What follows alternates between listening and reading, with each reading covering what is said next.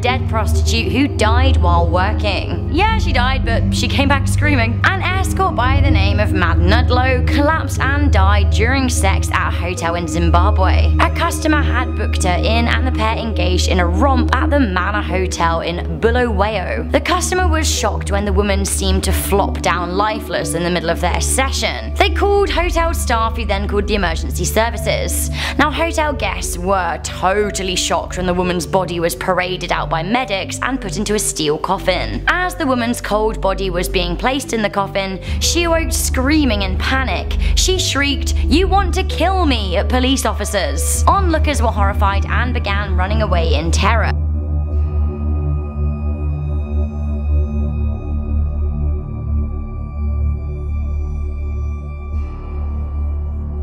February 2011, Kelly went out snowshoeing on the Beaver Pond Trail in Hooksett, New Hampshire. At some point during her hike, the 46 year old fell into icy water, and after the sun went down, her daughter and husband became worried about her. Clearly, the pond she was walking over was not as frozen as she thought, and she was stuck up to her neck in the freezing water. When her husband went out searching for her and eventually found her, she was nearly unconscious and was barely responsive. When she was pulled from the water, she fell into unconsciousness and her body temperature was in the 60s, which is absolutely absurd. She was rushed to hospital where her heart stopped for over 5 hours. Doctors attempted CPR and a warming process, but they thought that they'd lost her. In a final ditch attempt to save her life, she was transferred to a specialist hospital and hooked up to a bypass machine which worked to warm and filter her blood. After several hours on ice and 5 hours medically dead, she was revived and walked out of hospital with minor nerve damage to her hands just 5 days later. The team who rescued her from the ice was shocked to see her and she became known locally as Miracle Woman.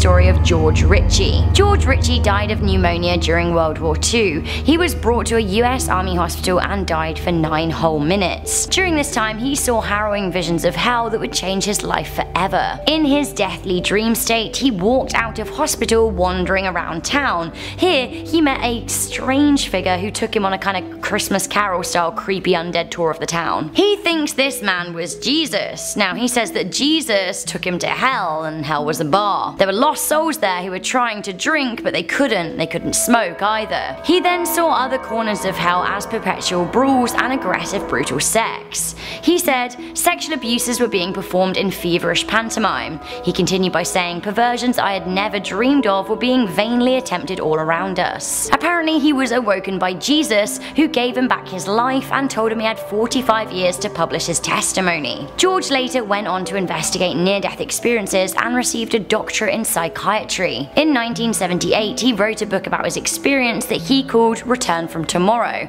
Now this did fall within the 43 year deadline.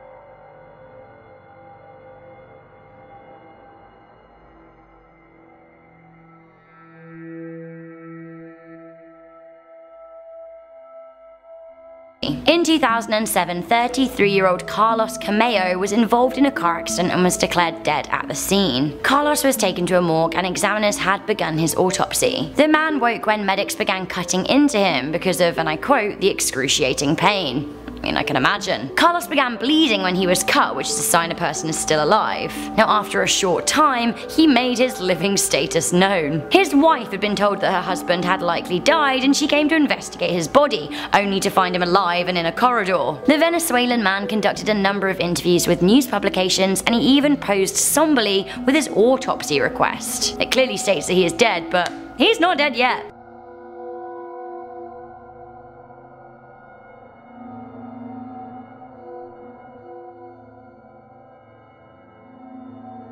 Analia Bouter gave birth to her fifth child 14 weeks early, so around two and a half to three months early. The baby had just 26 weeks of gestation and was born weighing just one and a half pounds. Sadly, her baby Milagros was declared dead, and just 20 minutes after her birth, her mother was presented with her death certificate. The baby was put in a coffin and taken to a morgue. 12 hours later, Mr. and Mrs. Bouter went to see their baby's body. When the doctors opened the drawer that she was being preserved in, baby Milagros began crying dying. So Milagros actually translates to miracle, which is kind of what this was. Her parents spent the next year helping her grow stronger and healthier, but sadly she died a few months after her first birthday.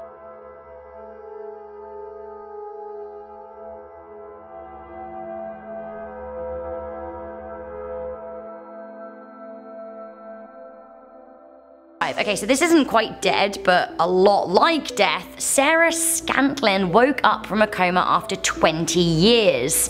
20. How insane is that? In 1984, Sarah Scantlin was just 18 and had a promising career of dance ahead of her. She was on the dance team at Hutchinson's Junior High Community College in Kansas, USA. One evening, she was out with her friends celebrating the USA Olympic success when she was hit by a drunk driver. She rolled over the roof of his car and was then pushed into oncoming traffic where she was hit again. Her parents Jim and Betsy were telephoned and they were rushed to be by their daughter's hospital bed. They feared the worst. Sarah's skull was crushed, her bones were broken, and she suffered internal bleeding. Her parents were told that she would never wake again, but they could not bring themselves to switch off her life support. So she remained basically dead in hospital for around 20 years until she defied all medical expectation and woke up. One of the first things she asked for when she first spoke to her parents was makeup. Her parents were thrilled when she awoke and soon discovered that she'd been able to hear a lot of what was going on around her while she was supposedly unconscious. Now this forced doctors to to reconsider what they know about comas. Sarah went on to live another decade with the ability to talk, although she was wheelchair bound. She sadly passed away in 2016, two weeks after her 50th birthday. Her family were extremely grateful for the time they got to spend with a daughter that they had previously resigned for dead.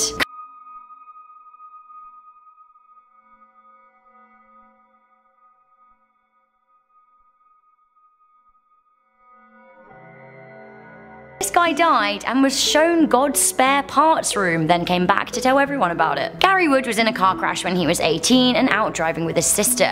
He lost his nose in the crash, broke several bones and crushed his larynx. He was declared medically dead for an hour. Now he explained the feeling of dying. He said at first there was pain and then there was great relief. He said death was like taking off your clothes and laying them to the side. He then alleged that he met a friend who had died when he was younger who showed him round heaven. While he was there, he said he saw God's throne room, but weirdest of all, he saw God's spare parts room. This was labelled as unclaimed blessings. He said in this room were spare arms, legs, hearts, brains, you name it. He said that God had a spare part for everyone and angels would take them down to earth to gift them to people that need them. Around 50 years after his accident, Gary Wood appeared on Sid Roth to explain his heavenly testimony. An hour after he died, Gary says he was brought back to life in hospital. He told Sid all about it. Dying and coming back from the dead isn't always considered funny, but you may reconsider after you see the cringe reenaction on Sid Roth. I started walking up a green grassy hill.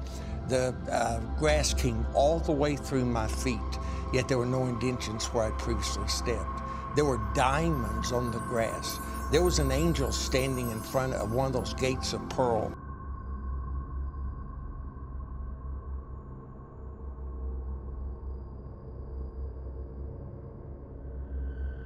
Dead for three days and has come back to life twice. Meet miracle grandmother Hardy Ludmilla Steblitskaya. She is a 61 year old that survived three days in a morgue and has twice been declared dead by doctors. Once she woke up just before the blade was about to cut her during her own autopsy. Her near death experiences came a year apart from one another and she terrified her family who started to mourn her twice. On the first occasion, her daughter had already spent 60,000 rubles planning her mother's funeral. When she came to collect her mother's body days later, she found her breathing and recovering in a hospital bed. Her daughter Anastasia gave an interview to the Siberian Times. She said, I started calling everyone saying things like, uh, sorry, can you please stop digging the grave? Ah, it's done. Okay, well there won't be a funeral, my mother is alive. An awkward conversation. A year later, her mother died again, this time just for a few hours. Two whole new chances of life, what a lucky lady, but I can't help but feeling the next time she dies, even if it's for reals, people are just gonna be like,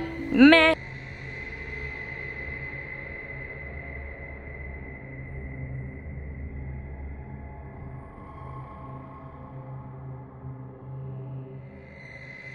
And we have the story of Polish drinker Kamil. In December 2016, stories emerged of a Polish drinker who rose up from the dead only to demand more drinks. 25-year-old Kamil from Wrocław was drinking hard. Now normal Polish drinking is hard to us, but this was Polish hard drinking, which is a beast unto itself. Kamil drank so much vodka that he collapsed and died of a heart attack at his local pub. Medics tried to revive him at the scene, and again at hospital, but then he was declared dead. The thing is though, despite an apparent death from cardiac arrest, he woke up hours later in a morgue which must have been one hell of a hangover. Morgue workers heard banging coming from Kamil's unit. When they went to investigate, they found the risen man nude and demanding a blanket. Rising from the dead is thirsty work it seems, and luckily for Kamil, the morgue was near his favourite watering hole. He simply got up, shook it off and went back to the boozer for another drink. Ostravie fella. Nostravie. Now while this story sounds like all of the lols, really it should serve as a warning. Yes, Kamil did rise again, but he did die of a vodka-induced heart attack. His heart may have recovered, but I wonder if his liver ever will.